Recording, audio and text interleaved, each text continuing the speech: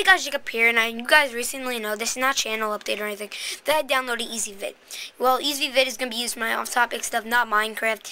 But yeah, basically not like 2K pack opens ones are going to come back soon, or Xbox Minecraft. It's just going to be used for off-topic things, just to let you guys know.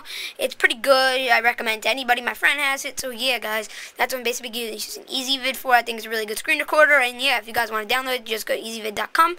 And yeah, thanks for watching. Peace.